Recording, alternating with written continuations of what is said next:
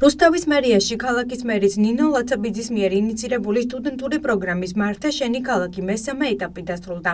ახალგაზრდები მერის სამსახურის მუშაობის სპეციფიკას ერთი თვის მანძილზე ეცნობოდნენ. პროექტი ქალაქის მართვაში ახალგაზრდების ჩართვას და მუნიციპალიტეტის მუშაობის სპეციფიკის გაცნობას ისახავდა მიზნად. პროექტის მონაწილე სტუდენტებს ნინო ლაცაბიძემ სერტიფიკატები და სიმბოლური საჩუქრები გადასცა.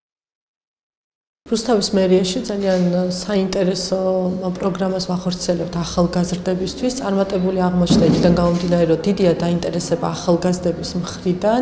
ჩვენთვის მნიშვნელოვანია, რომ ადგილობრივი თვითმმართველობის განხორციელების პროცესში იყოს რაც შეიძლება მეტი ახალგაზრდა ჩართული და ეს პროგრამა სწორედ ხელს უწყობს იმას, რომ კიდევ უფრო მეტი ინფორმაცია მიიღონ მუნიციპალიტეტის შესახებ. ძალიან დიდი ინფორმაციის მომცემი ეს სტაჟირება, რადგან საშუალება ჰქონდა თითოეულ სამსახურში შეხვედროდი გავხდით, გავცნობოდით თვითმართველობის სპეციფიკას. ჩვენთვის როგორც სტაჟიორებისთვის იყო საკმაოდ დიდი გამოწვევა ეს ყველაფერი, მაგრამ ფიქრობ, რომ ეს საჯარო მართვა მომავალისთვის ძალიან გამოგვადგება.